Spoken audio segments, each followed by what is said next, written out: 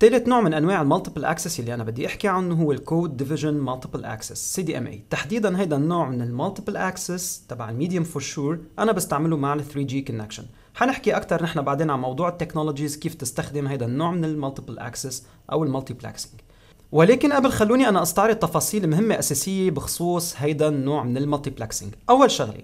نحن عم نكون عم نستعمل frequency وحدة ل multiple users at the same time كيف بيقدروا يستعملوا frequency وحده من دون ما استعمل أنا TDMA حنشوف كيف. الطريقة هي إنه نحن بنستعمل شيء بنسميه كود كل channel يعني كل user بيكون عنده unique code كل ال channel عم يستعملوا نفس ال frequency طبعا نحن هيدول ال codes بدنا نسميهم إذا بدنا chipping sequence شو معناتها chipping sequence يعني كل alternation يعني كل انتقال بال signal من فوق لتحت أو تحت لفوق أنا هيدا بسميه chip فهون أنا بيكون في عندي chipping sequence يعني عندي sequence of bits هدول بيكونوا عبارة عن spreading code أنا بحاجة لهم تقدر أعمل transmission أكيد حنعطي example تنعرف كيف.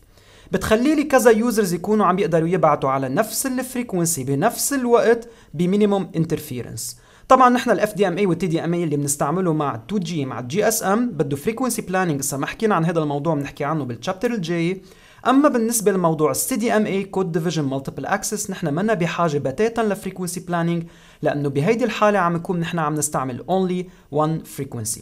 كيف أنا بقدر ابعت شو هي ال mechanism اللي بدي أستعملها؟ أنا تأبعت بال CDMA حنشوفها بالفيديو القادم.